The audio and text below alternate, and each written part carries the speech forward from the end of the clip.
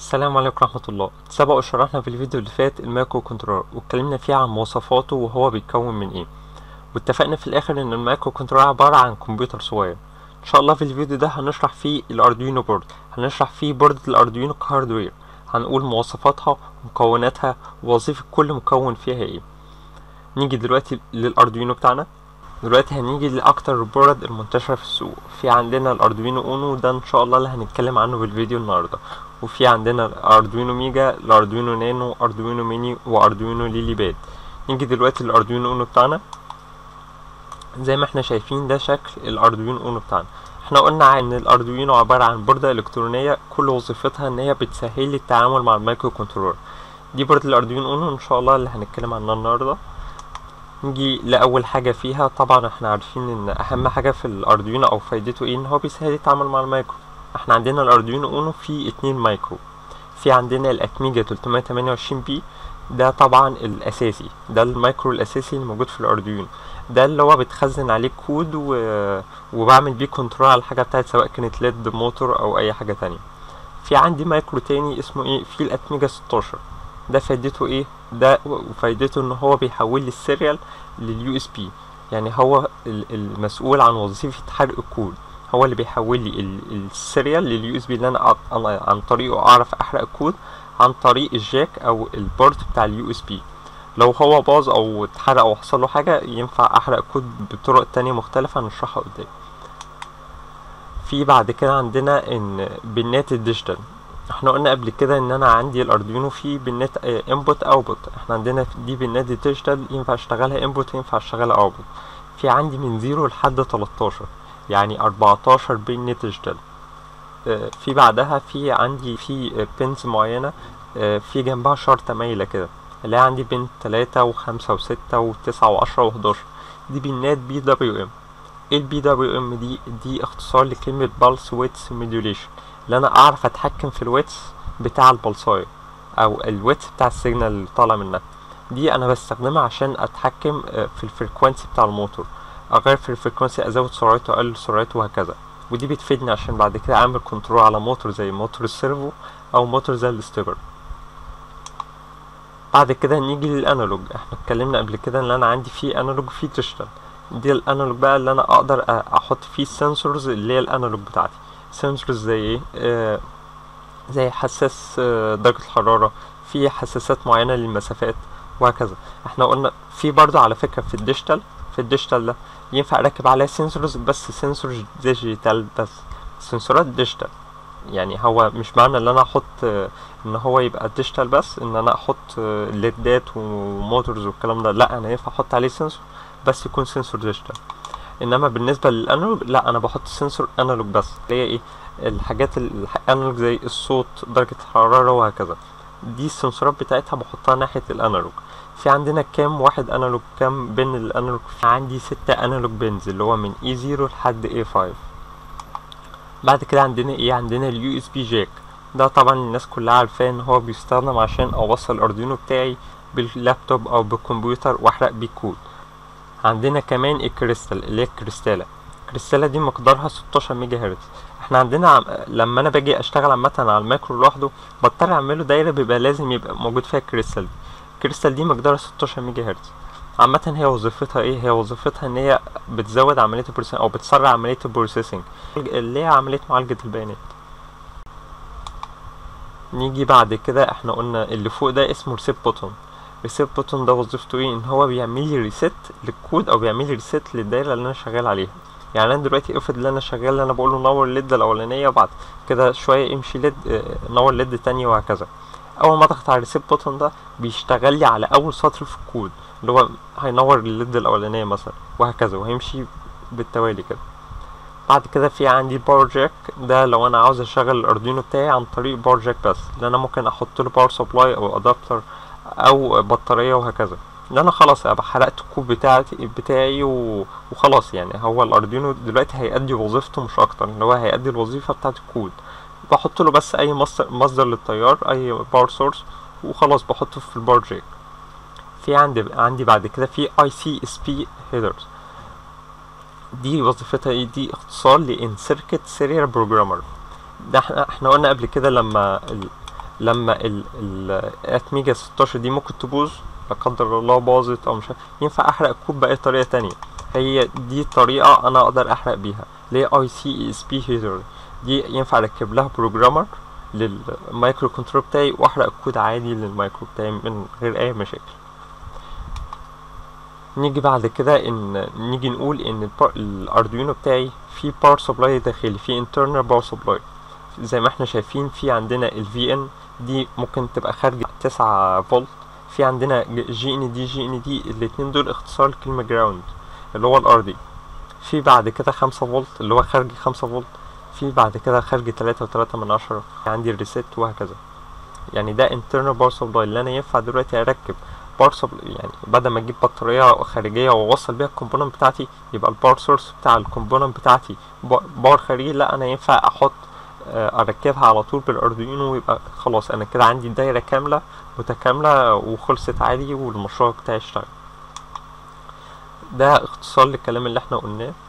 ان أنا عندي الاردوينو فيه 14 pin digital ومنهم 6 PWM اللي هي pulse width modulation في بعد كده عندي 6 بنات analog في كريستاله 16 ميجا هرتز في طبعا USB في power jack في ICSP header في reset button وعندنا ملحوظة على الماشي كده إحنا عندنا board دي اسمها اردوينو Uno uno دي معناها واحد بالإيطالي. إحنا عندنا زي ما إحنا عارفين إن اردوينو أصلا أساسه إيطاليا كان مشروع تخرج لناس في إيطاليا. فاحنا عندنا uno دي رقم واحد بالإيطالي. نيجي دلوقتي نتكلم عن الجزء ال technical ال technical specification أو المواصفات الفنية بتاعت board الأردوينو Uno إحنا هنجيب كل المعلومات بتاعتنا عن طريق موقع أردوينو. نشوف هنا في ال products وتشوف ال boards بتاعتي اللي هما بي بيبيعوها ونجيب منها الأردوينو Uno. لو ملاحظين في أكتر من نوع board بيبيعوه في kits كاملة كمان بتتباع. بتبقى هي عبارة عن board اردوينو ومعاها كذا module تاني أو معاها component تاني حاجات زي ال keypad. آه في عندنا حاجات زي ال Bluetooth module مثلا وهكذا. شوف هنا الاردوينو Uno بتاعنا. هو بيتباع هنا بسعر اتنين وعشرين يورو. بس ده طبعا الإيطالي الأصلي. نشوف بقى المواصفات الفنية. في عندنا ال microcontroller طبعا زي ما إحنا قلنا اللي هو إيه؟ ATmega 328P. في عندنا ال operating voltage 5 فولت. يعني إيه ال operating voltage 5 فولت؟ يعني عندي الخارج بتاع ال pin أو الأقصى دخل أقدر أدخله على ال pin بتاع الاردوينو 5 فولت. يعني من 0 لحد 13 أو ال analog اللي هنا A0 لحد A5 الدخل بتاعه أو الخارج 5 فولت. يعني هنا لو حطيت أفوميتر وقلت مثلا إديت هنا أمر high أو خليت الليد دي تشتغل ك output وحطيت ان أنا اقيس أي الفولت الخارج بتاعها هتلاقيه 5 فولت أو ما يقارب ال 5 فولت. في عندنا ال input voltage هنا في من 7 ل 12 يعني أنا هنا أقصى دخل أدخله الأردوينو أقصى power source أدخله الأردوينو يكون قيمته 12 فولت. يعني من 7 ل 12 فولت أقدر أشغل الأردوينو بتاعي وما يحصلش أي مشكلة سواء عندي. ال voltage regulator اللي هو ده أو لل micro control ما يحصل لهمش مشكلة. في ال limit بتاعه من ستة لعشرين في digital input output pins أربعتاشر ان إحنا في عندنا أربعتاشر pin digital منهم ستة PWM زي ما إحنا قلنا. بيقول لك هنا إن pin ات ال PWM ستة ستة pin ات ال analog ستة. ال DC current يعني ال DC current بتاع ال pin ات يعني ال DC current يعني الخارج الأمبير. في حاجة اسمها فرق الجهد اللي هو الفولت اللي إحنا قلناه خمسة فولت وفي حاجة تانية اسمها شدة التيار اللي هو الأمبير اللي هو ال current تمام؟ ده عشرين ملي أمبير. بيكون في حدود عشرين ملي أمبير. تمام؟ يعني ما أقدرش أشغل بيه مثلا حاجات زي المواتير والشغل ده. بضطر أستخدم mod- module أو بضطر أستخدم driver مخصوص للمواتير عشان أشتغل على الموتور. في هنا ده انما هنا لو شغال أنا ال power source بتاعي تلاتة وتلاتة من عشرة بيكون هنا عندي ال ال الامبير بتاعي الخارج خم خمسين ملي امبير بعد كده عندي ال flash memory ال- ال memory بتاعتي بتبقى اتنين وتلاتين كيلو بايت ده ال memory اللي هي الخاصة بال ATmega تلتمية تمانية وعشرين B. وبيقول لك إن في خمسة من عشرة كيلو بايت بيقول لك بتستخدم لل boot loader إيه ال boot loader ده؟ ده ال boot loader ده اللي هو ال software أو نقدر نقول عليه ال Windows الخاص بأردوينو. يعني إحنا عندنا حاجة زي ال- الكمبيوتر. مش أنا بنزله Windows عشان أعرف أشتغل عليه حاجات مثلا زي برنامج الكتابة ال Word وال Office مثلا واشغل عليه برامج الألعاب بتاعتي. أنا عندي كده برضه. أنا عندي لازم المايكرو ده يكون عليه platform خاصة بأردوينو أو software خاص بشركة أردوينو عشان أعرف أبرمجه بلغة الأردوينو وأعرف أشغل عليه آه ال compiler بتاعها أو أردوينو IDE فهو لازم عليه يكون عليه ال software أو ال Windows مثلا اللي هو بتاع شركة أردوينو. بعد كده نيجي لإيه؟ نيجي لل SRAM 2 كيلو بايت ده برضو الخاص بال ATmega ال EEPROM واحد كيلو ده برضو الخاص بال ATmega زي ما إحنا قلنا عندنا كريستال 16 ميجا هرتز في عندنا ال- ال LED رقم 13 يعني عندنا ال LED دي ال- ال LED اللي- دي بتاعت ال اللوب دي خاصة برقم 13 يعني أنا هنا لو أديك كود للاردوينو إن هو ينور LED 13 اللي هو الب- ال pin رقم 13 أنا مش لازم أحط LED. عادي هو بيشغل لي ال LED رقم 13 دي اللي هي ال دي. ده لو أنا عاوز أعمل كود مثلا أو أعمل test لل board الاردوينو بتاعتي إذا كانت شغالة أو مش شغالة في كود اسمه blink code blink ده خاص بال pin رقم 13 بيشغل على طول ال دي أو شغال لي ال LED دي تعمل لي blink كده تقيد وتطفي في عندي الطول والعرض وال weight آه، في يعني عندي الوزن بتاع الاردوينو اونو حوالي 25 جرام. بس دي يعتبر المواصفات الفنية بتاعت شركة اردوينو بالنسبة لاردوينو أونو. في عندنا هنا حاجات آه، بيتكلم لك شوية عن الاردوينو الكلام اللي إحنا كنا قايلينه قبل كده. وهنا اتكلم شوية عن اردوينو IDE. ده الكلام ده هنشرحه إن شاء الله في الفيديو اللي جاي. في عندنا هنا documentation. إيه documentation دي؟ ده عشان حاجة تبين إن فعلا اردوينو ده حاجة open source. في عندنا Eagle files يعني ده أنا أقدر. أ- يعني هنشوف كده. ده المفروض إن هو هيديني ال PCB الخاص ب board الاردوينو اونو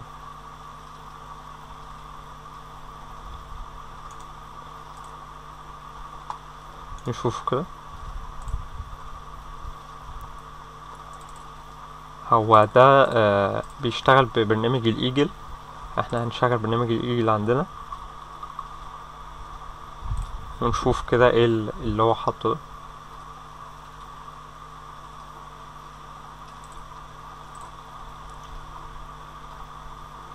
نشوف ال schematic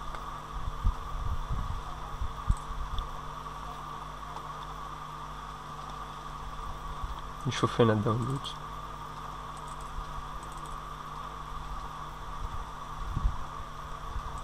فتح لي فعلا ال schematic الخاص ب board الأردوينو أونو. يعني هو فعلا الشغل اللي عاملاه أردوينو فاتحاه عادي open source أي واحد يقدر ياخد ال schematic ده ويعمل board خاصة بيه. في عندنا هنا ال PCB الخاص بيها. ده ال PCB الخاص ب board أردوينو أونو. لو اتكيت هنا هيشغل ال mask. هي ال board طبعا double layer لو عملت هنا هيشغل الـ mask كامل. هو فعلا يعني أنا أقدر دلوقتي آخد ال PCB ده وأعمل بيه اردوينو يعني حتى الاردوينو الصيني أو الاردوينو clone هو based on أو بناء عن ال PCB اللي شركة اردوينو منزلاه. وفي هنا حاطة ال schematic لوحده. يعني هي حاطة هنا ال schematic لوحده أقدر أتفرج عليه عادي. وفي هنا ال board size هي حاطة الأبعاد بتاعتها. آه يعني نشوف كده.